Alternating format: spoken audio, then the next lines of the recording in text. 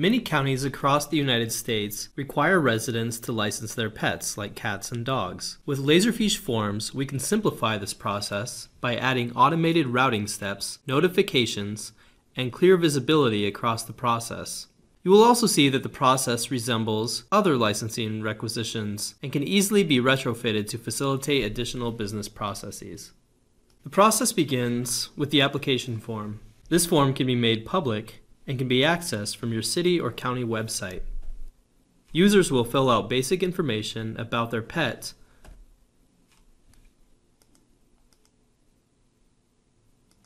then hit submit when finished. Upon submission, they can be redirected to a payment portal using the fee automatically calculated on the form. The form is then routed to an Animal Care Services admin for review. This initial review step is to determine if payment information, as well as pet and owner information, has been filled out correctly. If the information is determined to be sufficient, the Animal Care Services admin will approve the application and send it off to the city clerk for processing. If everything is in order, the clerk will approve the license request, which will kick off a series of additional activities.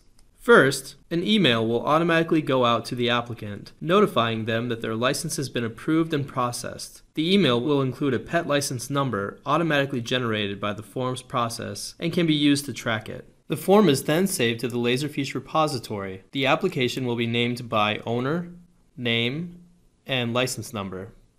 This makes it easy to find and retrieve. The last piece of this process includes a Laserfiche workflow that will run on a schedule to find all pet licenses due to expire in one year, then generate a pre-populated form URL to send to the applicant via email.